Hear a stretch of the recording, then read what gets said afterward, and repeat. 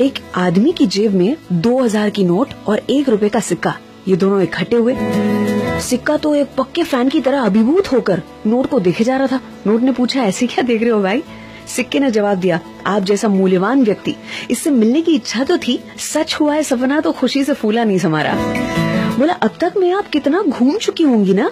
मुझसे तो आपका मूल्य दो हज़ार गुना ज़्यादा है। तो कितने लोगों के काम आए होंगे आप? दुखी होते हुए नोट ने जवाब दिया तो सोच रहा है वैसा कुछ नहीं है मेरे भाई। मैं एक बहुत ही बड़े उद्योगपति कब्जे में थी। उनकी तिजोरी में बंद थी। टैक्स, कर चोरी के मामले में वो फंसा तो मैं बाहर निकली। मुझे लगा, अब मुझे मुक्ति मिलेगी, लेकिन रिश्वत के रूप में उसने मुझे अधिकारी के हाथ में रख दिया। और फिर अधिकारी ने मुझे बैंक लॉकर में डाल दिया। वहाँ तो जैसे मेरा दम ही घुट गया।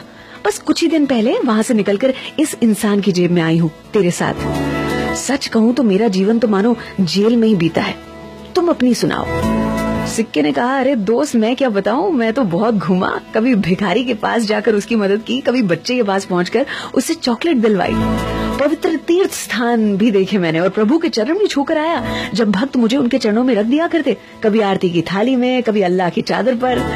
ये सुनते ही नोट की आँखें भर आई। अर्थात हम कितने बड़े हैं, उससे ज़्यादा ये ज़रूरी है कि हम कितने उपयोगी हैं। बड़े हैं, उपयोगी नहीं तो क्या? लेकिन छोटे हैं और उपयोगी हैं वही तो असली मायने में बड़े हैं सलाम दुआ वणकम प्रणाम सत श्री अकाल કેમ છો સારું છે અમદાવાદ આખું મારું છે અર્ચના की ओर से